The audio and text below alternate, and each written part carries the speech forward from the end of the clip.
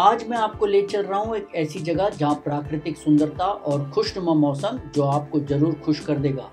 जी हाँ हम चल रहे हैं यरकार यरकाड़ में कौन कौन से पॉइंट आप देख सकते हैं, सब बताऊँगा। नए हैं तो चैनल को प्लीज़ सब्सक्राइब कीजिए। मैं हूँ राकेश जैन और स्वागत है आपका मेरे इस चैनल पर। बेंगलुरु से सिर्फ़ 230 किलोमीटर और इरोड से तो यह मात्र 100 किलोमीटर से भी कम है। इस ट्रिप को आप एक दिन में आराम से कर पाएँगे। चूँकि मैं इरोड में था तो यह सफ़र हमने सुबह छः बजे शुरू कर दिया था। जैसे ही घाटी का रास्ता शुरू हुआ, मौसम और व्यू दोनों ही खूबसूरत लगने लगे। यहाँ पर करीब 20 हेयरपिन बेंड्स हैं। रोड तो वाकई बढ़िया थी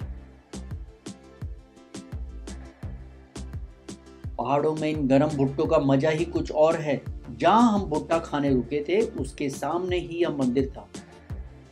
यह विशाल प्रतिमा ऐसे मोड़ पर आपको ज़रूर एक बार आकर्षित करेगी। इन खूबसूरत व्यूज़ का थोड़ा मज़ा लेते हुए हम आगे बढ़े। जैसे ही हम यरकाड पहुँचे, एक वेजिटेरियन होटल की तलाश शुरू हुई ब्रेकफास्ट के लिए। हमारी तलाश खत्म हुई इस होटल श्री सरवणा भवन एलाइट पर। गर्मा गर्म इडली, वड़ा, डोसा और गरम गरम कॉफ़ी के बाद हम सीधा पहुँचे पहले बोटिंग के लिए। दोपहर या शाम के यहाँ भीड़ बहुत बढ़ जाएगी, इसलिए आप अर्ली मॉर्निंग ही इसे कर लीजिएगा। सबसे पहले आपको एंट्री टिकट लेनी होगी। Adult entry ticket rupees ten है और किड्स रुपीज़ फाइव है। कैमरे के भी आपको अलग से चार्जेस लगेंगे। अगर आप यरकार्ड में स्टे करना चाहते हैं तो गवर्नमेंट वेबसाइट और रेट्स यहाँ पर फ्लैश किया गया आइए, अब बोट भी बुक कर लेते हैं। यह है अलग अलग प्रकार की बोटिंग के चार्जेस हमने डिसाइड किया मोटर बोट राइड का। आठ लोगों के लिए हमें पड़ा करीब छह सौ रुपए। बच्चों के लिए तो यहाँ एंटरटेनमेंट के पूरे साधन हैं। बाहर हॉर्स राइडिंग है तो अंदर स्विंग बच्चों को तो मज़ा ही आ जाएगा। सेफ्टी जैकेट्स पहन हम तैयार हो गए।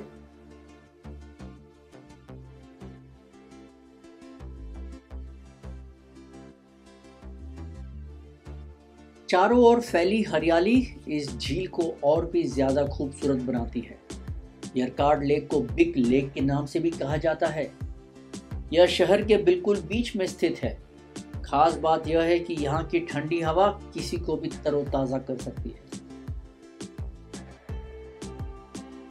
बोट हाउस के बिल्कुल बाजू है यह इको पार्क। लेक के बीच में एक द्वीप है जिसे इस ओवरब्रिज के ज़रिए मुख्य भूमि से जोड़ा गया है। इस द्वीप पर हिरन और मोर देखे जा सकते हैं।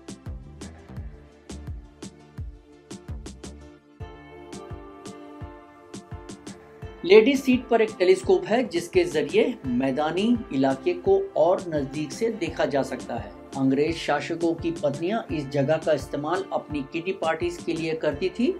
बस इसलिए नाम पड़ गया लेडी सीट। यहाँ से ढलते सूरज का नज़ारा बेहद खूबसूरत नज़र आता है।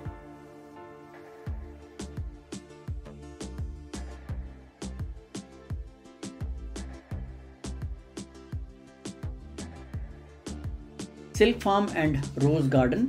यह जगह लेडी सीट के बिल्कुल पास ही है।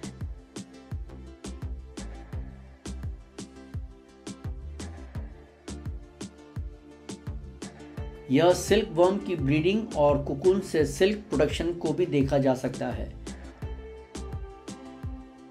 रोज गार्डन पहुंचकर आप कई तरह के गुलाबों की खुशबू भी ले सकते हैं।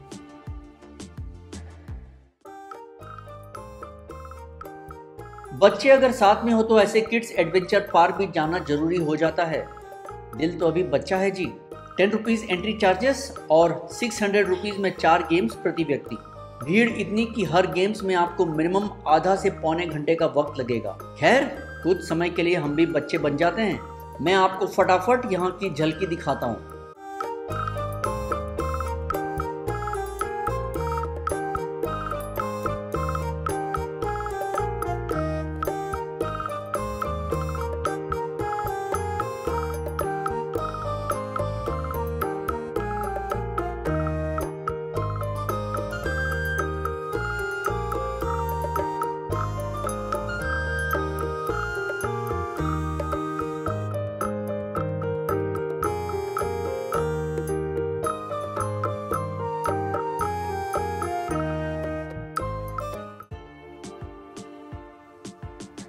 येरकाड का सफ़र पगोड़ा पॉइंट को देखे बिना अधूरा है। इस पॉइंट से पूरे शहर का मनमोहक नज़ारा देखने को मिलता है।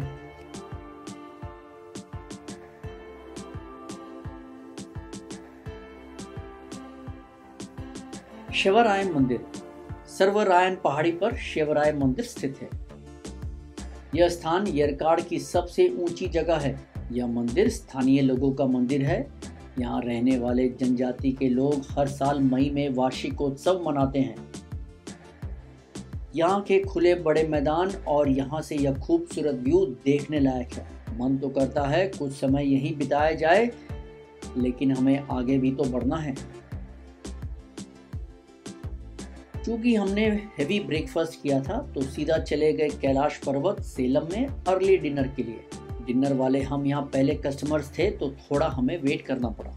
आप यहाँ पर एम्बियंस और खाना दोनों ही पसंद करेंगे। कैसा लगा ये सफ़र और जानकारी? वीडियो पसंद आए तो लाइक कीजिए और शेयर कीजिए। धन्यवाद। Thank you Nandri.